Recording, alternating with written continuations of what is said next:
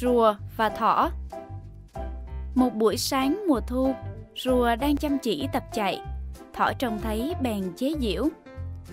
Bạn chậm ri ri mà cũng đòi tập chạy à? Nghe thỏ nói xong, rùa trả lời. Bạn với mình thử so tài xem ai hơn ai. Thỏ vênh mặt lên đáp. Bạn dám chạy thi với mình à? Được thôi, mình chấp bạn nửa đường. Rùa biết mình chậm, nên khi bắt gấu vừa hô, chạy, thì nó cố sức nhích từng bước một. Thỏ tủm tỉm cười, nó nghĩ, chẳng phải vội, đợi rùa gần về đến đích, ta chỉ phóng vèo một hơi là tới. Rồi nó vừa đi, vừa đổi bướm, hái hoa, quên cả việc chạy thi. Khi nghe tiếng cổ vũ, rùa ơi cố lên, rùa ơi cố lên.